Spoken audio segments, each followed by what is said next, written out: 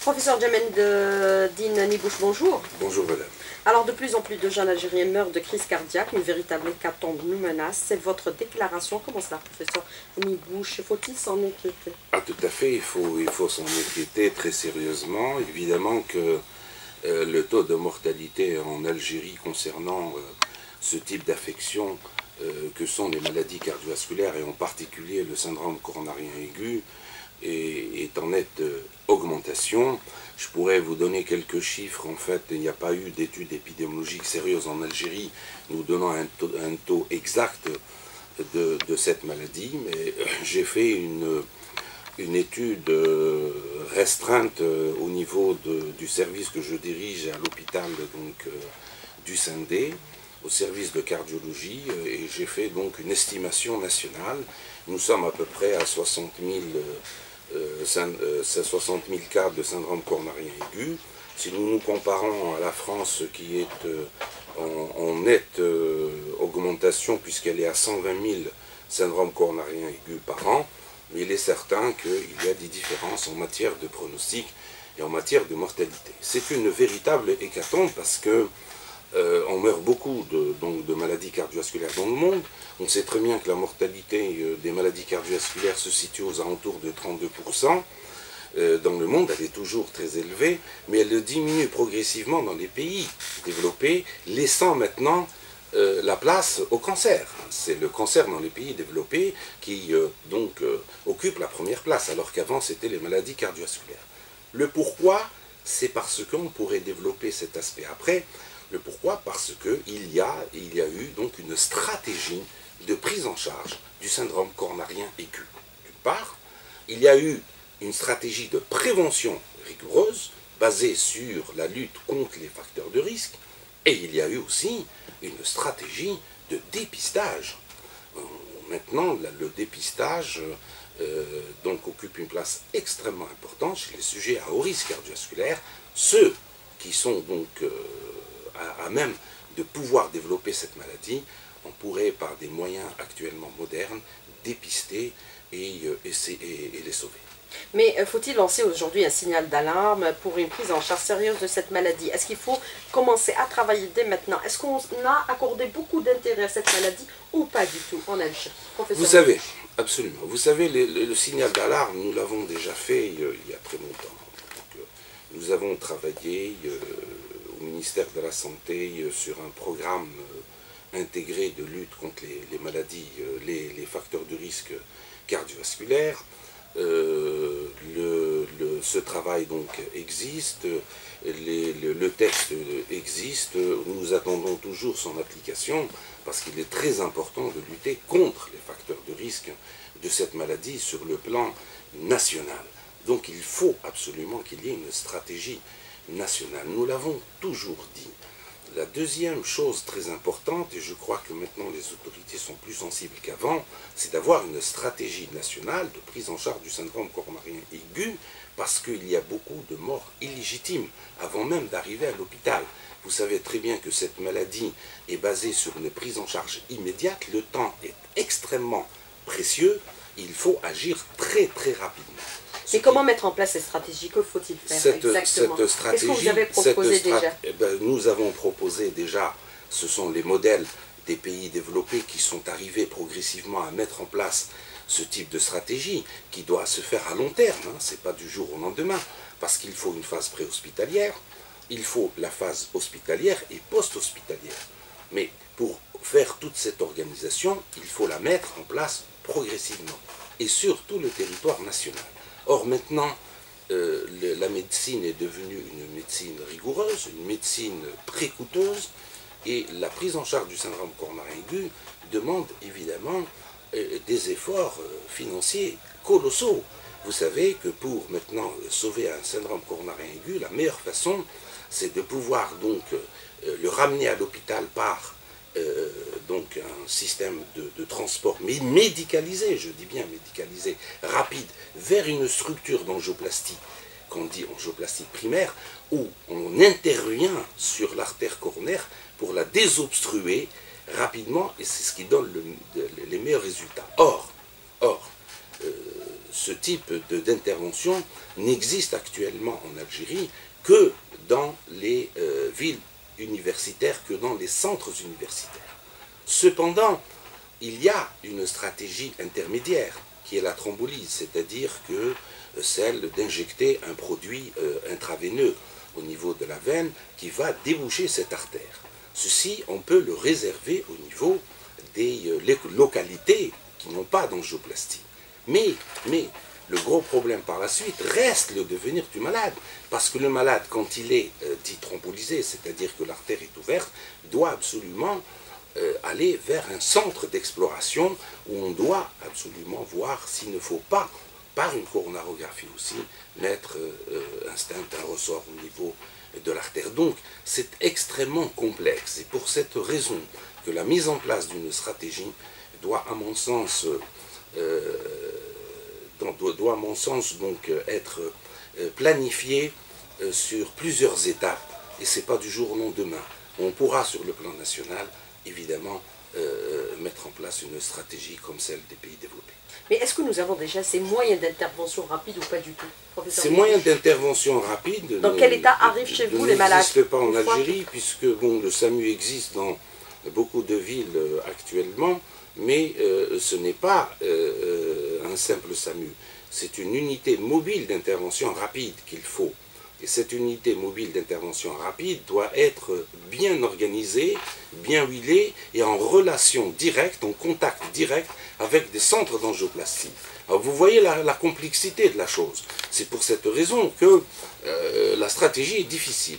Mais nous, ce que nous, nous préconisons, c'est qu'on commence à travailler sur une stratégie, mais qu'on commence à travailler, c'est-à-dire qu'on commence donc à mettre la première étape, c'est d'abord d'individualiser, de faire donc euh, euh, de faire un état, d'évaluer l'état de situation de notre pays, de voir au niveau des différentes wilayas euh, quels sont les moyens de pouvoir donc mettre en œuvre pour prendre en charge ce type de maladie.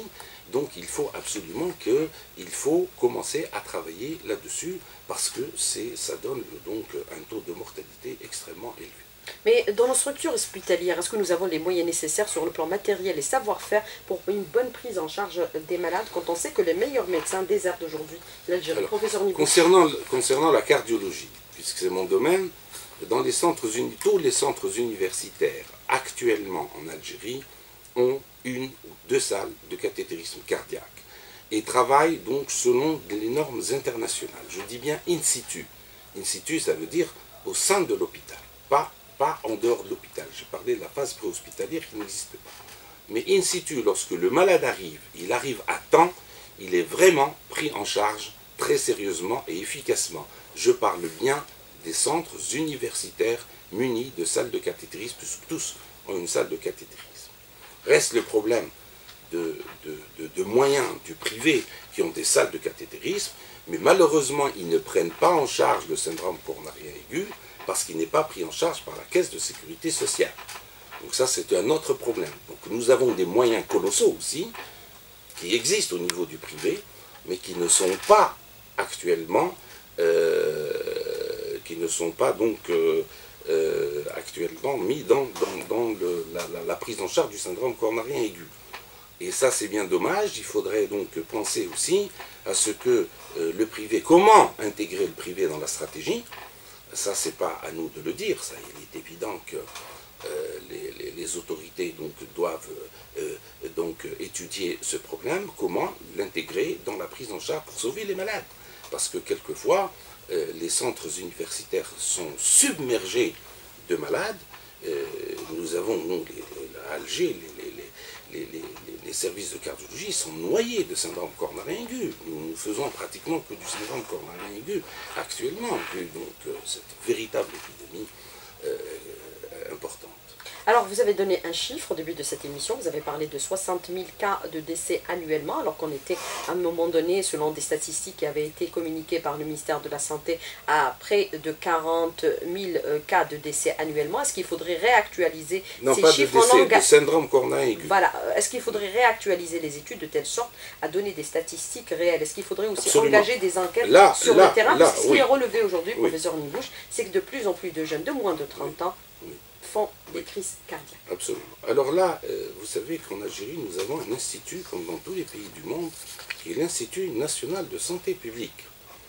L'Institut national de santé publique est habilité, justement, à faire des études épidémiologiques. Je pense que c'est le seul habilité actuellement dans notre pays à faire ce type d'études et de donner exactement euh, la température de toutes les maladies euh, morbides en Algérie qui posent un grand problème euh, de, de, mortalité. Avant, nous avions le bulletin de, l'Institut national de santé publique. malheureusement, nous ne le voyons plus. Il n'existe plus ce bulletin et nous aimerions bien qu'il revienne sur la place de la santé pour que les médecins puissent être euh, donc au courant euh, de ce qui se passe sur le plan épidémiologique en Algérie. Il faut réactualiser les chiffres et donner Justement, euh, l'Institut national de santé publique est actuellement, et je suis donc partie prenante de l'étude, nous sommes en train de faire un registre justement de, du syndrome coronarien aigu en Algérie. Nous avons commencé par la wilaya d'Alger, qui nous avons maintenant élargi vers la wilaya de Blida et que progressivement nous allons l'élargir à tout le territoire national. Je pense que nous avons bien lancé cette étude, qui est une étude de grande envergure, et je pense qu'elle aboutira, elle aboutira très, très, très sérieusement, elle aboutira très certainement, et elle nous donnera donc euh, un état réel de ce qui se passe sur le plan épidémiologique. Quand je dis sur le plan épidémiologique, ce n'est pas uniquement un chiffre de, de, syndrome coronarien aigu euh, en Algérie, mais c'est aussi euh, la mortalité, c'est aussi euh, les, insuffisances de prise en charge. il y a beaucoup donc de paramètres qui vont nous permettre d'évaluer au mieux cette maladie redoutable. Alors, de plus en plus de jeunes, les moins de 30 ans, décèdent d'une crise cardiaque. C'est normal? Quels sont les raisons? Alors, pourquoi le sujet jeune Oui. Pourquoi le sujet jeune? Euh, Vous entendez beaucoup maintenant que des sujets jeunes font des crises cardiaques. C'est parce que il y a des facteurs de risque de cette maladie qu'avant, il y a le temps d'exposition. Vous savez, un temps d'exposition, c'est euh, le temps où on est exposé à des facteurs de risque de cette maladie comme toutes les, autres, comme le cancer, comme beaucoup d'autres. D'ailleurs, les maladies cardiovasculaires touchant l'athérosclérose ressemblent beaucoup au cancer euh, en matière de, facteurs de risque. Alors, quand vous, avez donc beaucoup de facteurs de risque très précoces à l'enfance, regardez bien ce qui se passe actuellement. C'est que l'enfant a changé sa façon de vivre. Je dis bien sa façon de vivre, pas que de manger uniquement il consomme beaucoup plus de sucre, l'enfant fume plus précocement, j'ai vu même des, enfants fumer la chicha à, la maison. Vous savez que la chicha a été introduite au domicile, maintenant on s'intoxique à la maison et, en groupe. Et ceci donc est extrêmement euh, inquiétant. Deuxièmement, la consommation de graisses alimentaires de mauvaise qualité comme on avait parlé à l'époque du casse-croûte frites omelette, et qui est catastrophique, il est plus, euh, plus nocif que l'hamburger américain, plus nocif en Algérie, plus les boissons gazeuses non contrôlées, avec un taux de sucre extrêmement élevé. Alors ça, c'est chez l'enfant, madame. Alors, si le taux, on commence déjà à un, âge très jeune à être exposé à cette maladie, eh bien, à 30 ans, on aura l'infarctus, ça c'est sûr. Phénomène de la drogue également. Le phénomène, le phénomène de la drogue est réel. Nous avons plusieurs cas dans notre service. Le phénomène de la drogue est réel et euh, nous sommes actuellement en train de colliger tous les cas de sujets donc euh, consommant des stupéfiants et qui ont eu des syndromes coronariens aigus précoces, même à l'âge de 20 ans, 25 ans. Nous sommes en train de colliger ces cas pour les publier parce que ça devient une préoccupation majeure de santé publique en Algérie. Alors, euh, professeur Djameldine Nebouche, moi je voudrais revenir avec vous sur un aspect euh, particulier. Vous avez parlé un peu du phénomène de psychotrope et de drogue par rapport euh, au, au, sujet jeune. De plus en plus de jeunes décèdent de crise cardiaque suite à leur consommation de drogue et de psychotropes. Est-ce qu'il faut alerter les pouvoirs publics sur cet aspect-là? On semble l'occulter parfois. Oui, parce que... Ou alors on ne veut pas en parler. Euh, non, non, non, c'est pas ça. Je pense que c'est de notre devoir, effectivement, d'alerter euh, les autorités sur ce phénomène. Faudrait-il encore qu'il y ait d'études scientifiques sérieuses? Il ne faut pas alerter pour alerter, il faut donner des preuves, il faut donner des études scientifiques pour cela.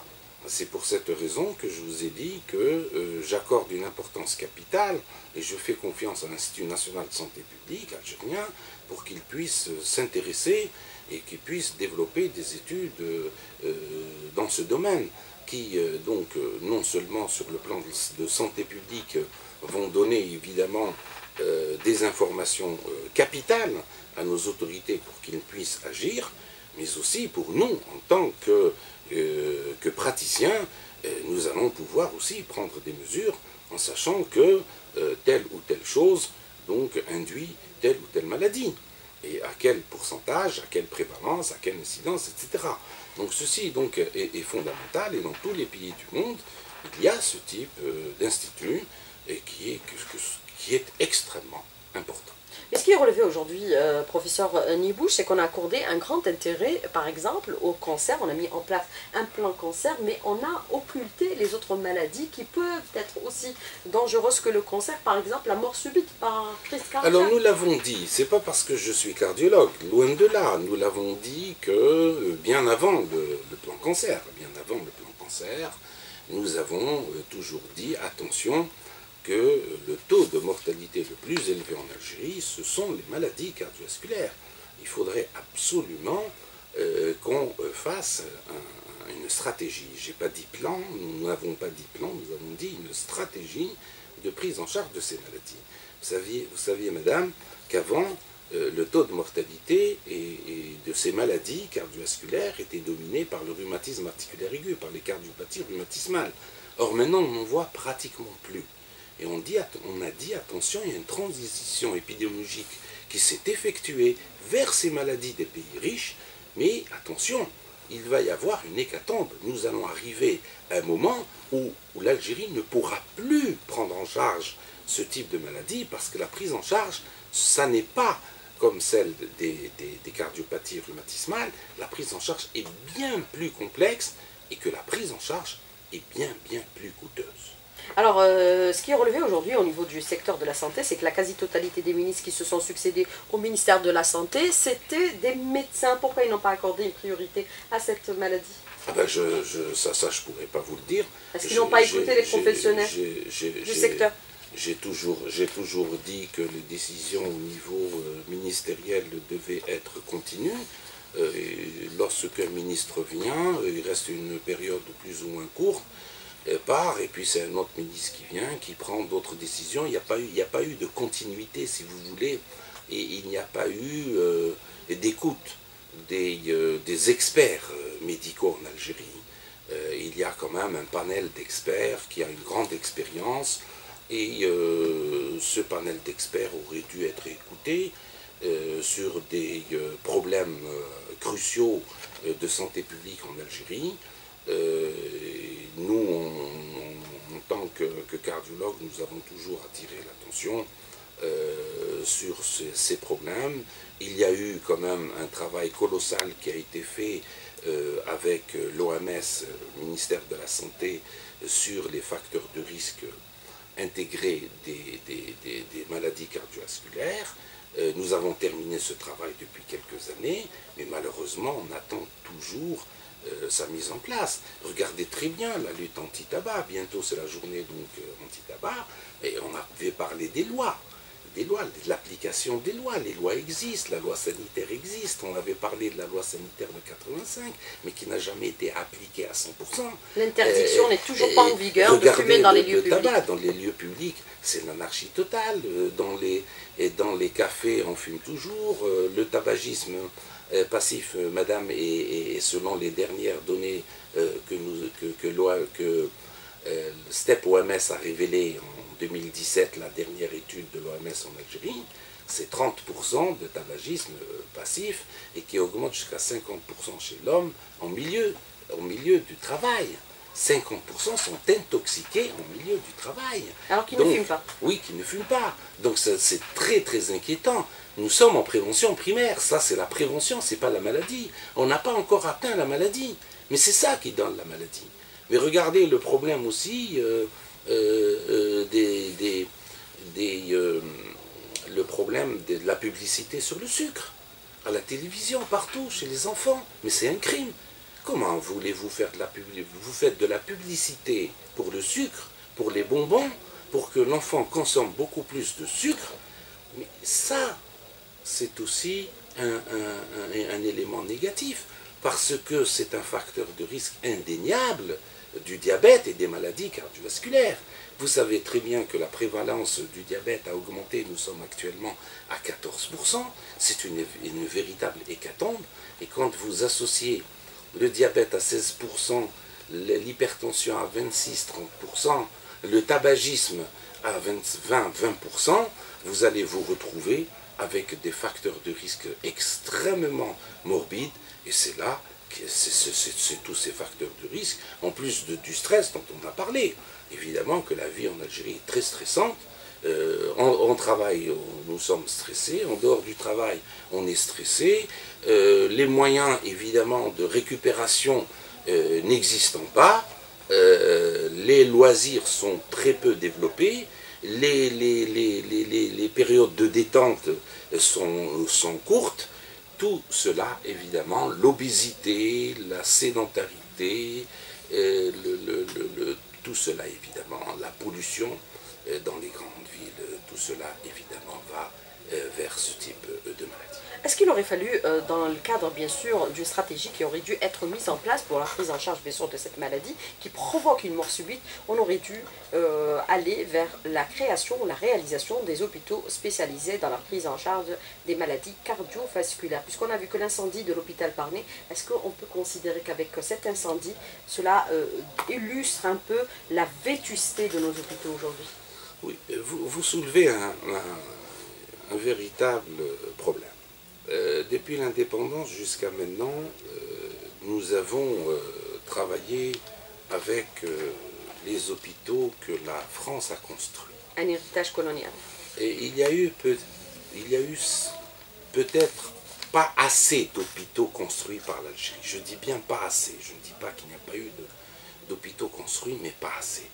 Mais si vous regardez la capitale, il n'y a pratiquement pas eu d'hôpital, au sens propre du terme universitaire, d'un pays comme l'Algérie construit à Alger, qui, qui aurait dû être une, référence. Un hôpital construit donc selon le, modèle, le modèle actuel des normes internationales.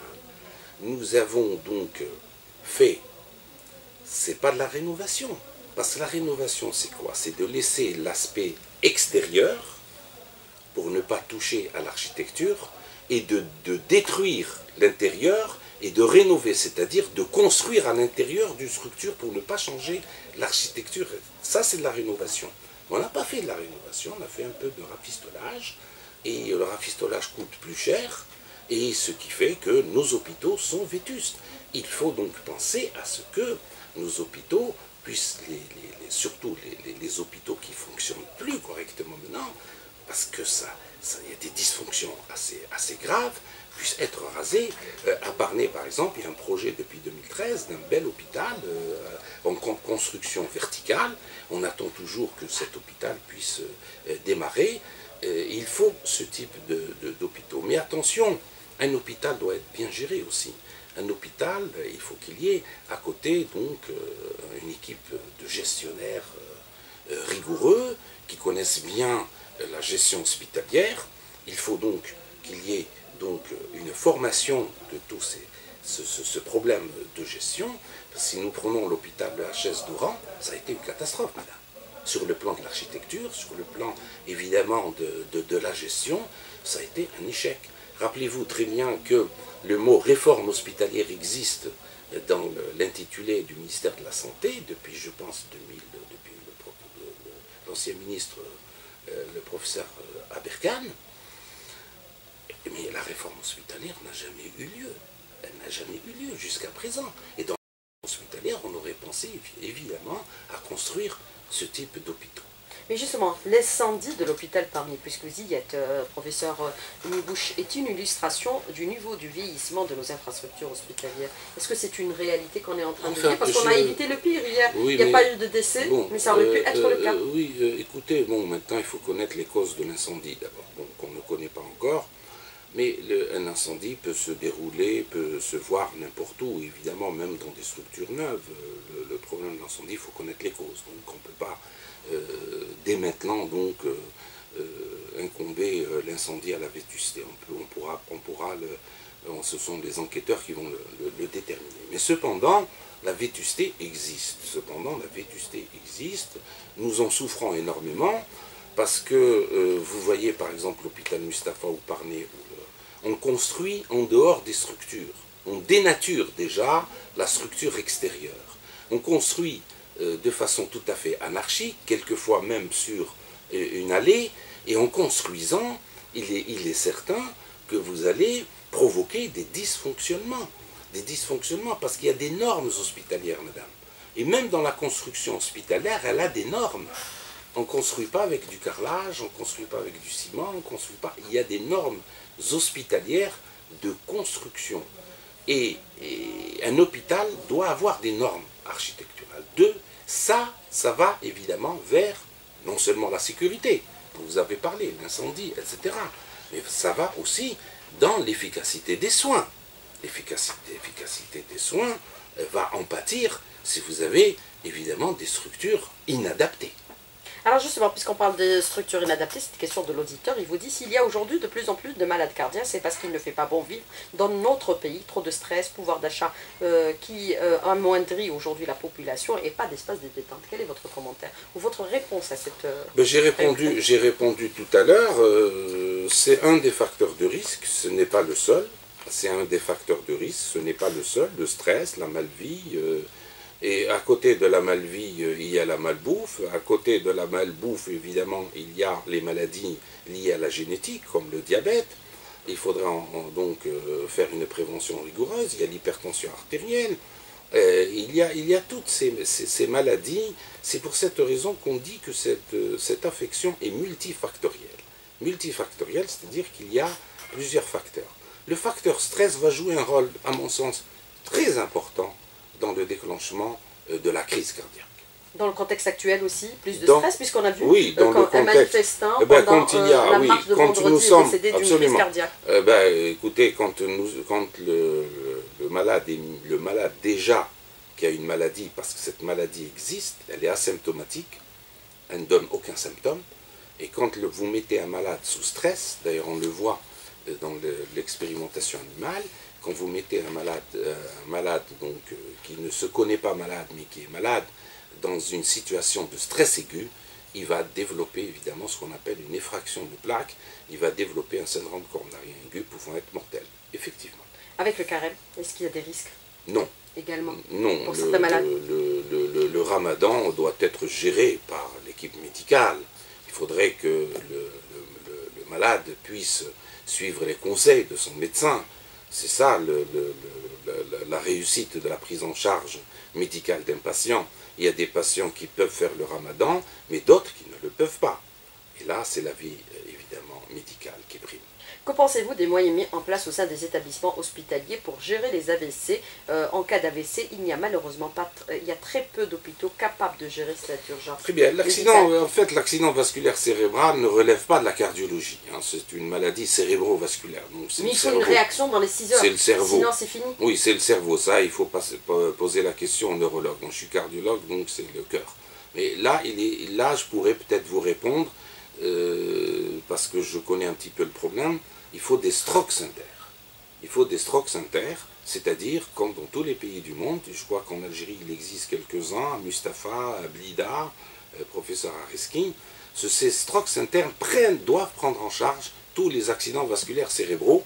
Et là, effectivement, comme pour l'infarctus du myocarde, quand c'est ischémique, ils peuvent euh, thromboliser et, sauver le malade pour qu'il n'y ait pas euh. Ça, c'est pas mon domaine. Il est évident que c'est le neurologue qui pourrait euh, répondre au mieux à cette question. Alors, négligence d'utilisation d'appareils au niveau des urgences, autre problème? Un autre problème aussi de gestion hospitalière la, négligence euh, d'utilisation des appareils. Euh, Souvent en panne, alors. Euh, oui, oui, oui, oui. Ça, c'est un gros problème. Nous avons toujours parlé de la maintenance. C'est une véritable problématique, la maintenance en Algérie. Elle est liée à des problèmes de législation aussi, parce que pour avoir une pièce, euh, pour changer une pièce dans un appareil, quelquefois ça demande beaucoup de temps. Surtout pour le public, hein, le code des marchés publics. Alors que dans les code des marchés publics. Vous savez, un scanner qui tombe en... Vous, avez, vous voyez un scanner euh, tomber en panne dans les cliniques privées? Ça n'existe pas. Aux hôpitaux, parce que la législation algérienne doit être allégée. La législation algérienne doit s'adapter justement à, la nécessité de pouvoir euh, réparer rapidement euh, un appareil en panne ne pas soumettre un peu les hôpitaux au code des marchés publics. Alors, euh, ce qui est relevé aujourd'hui, c'est que ces appareils, parfois, sont à l'arrêt. C'est fait sciemment, parce que si on prend, par exemple, en considération aujourd'hui l'hôpital Parmi, si on devait avoir une vision un peu globale autour de l'hôpital du CND, ce qui est relevé, c'est qu'il est entouré et encerclé par des cliniques privées et des laboratoires privés on met en panne pour envoyer. Enfin, je ne je, suis pas venu en accusateur, je n'ai pas d'éléments pour vous dire. Oui, mais je n'ai pas d'éléments pour oui, je n'ai pas d'éléments pour vous dire que euh, c'est sciemment fait. Ça, je pourrais pas le dire. Il y a peut-être de la négligence. Ça, c'est certain. Il y a... Euh, détournement des malades du, privé, euh, du public vers le privé. Détournement des malades vers le privé, ça, ça, doit exister. Il faudrait le prouver aussi. Et toutes ces choses-là euh, sont des choses évidemment euh, inacceptables euh, et qu'il faut absolument donc prouver. Je ne pourrais pas, moi, vous dire très sérieusement est-ce que ce sont ces causes-là qui entraînent les dysfonctionnements au niveau des hôpitaux. Alors, un plan sud pour la prise en ah charge des maladies cardiaques, ah c'est important également. Ah oui, ah oui, nous sommes. Nous allons vers les périodes de grande chaleur. Absolument. Vous savez, nous avons parlé du, service civil. J'ai dit au niveau d'une antenne donc, euh, de la radio une fois que euh, le service civil ne faisait plus l'unanimité euh, du corps médical. Pour la simple raison qu'on n'a pas fait une évaluation rigoureuse du service civil.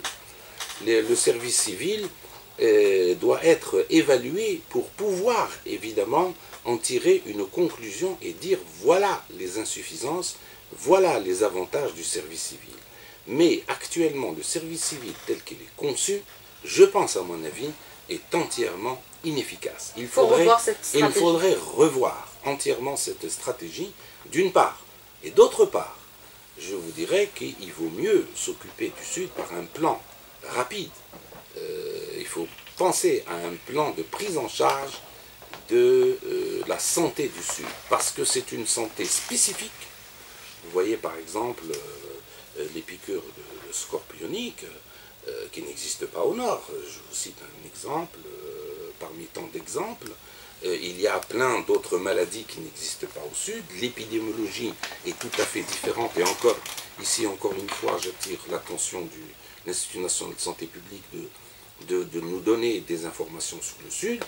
Euh, la vie au Sud est tout à fait différente. Il faudrait penser à un plan sanitaire du Sud qui sera salutaire. Professeur Djemel Bouche, merci d'avoir répondu à nos questions et d'avoir été en direct avec nous ce matin dans le studio. Merci beaucoup, bonne journée. Au revoir.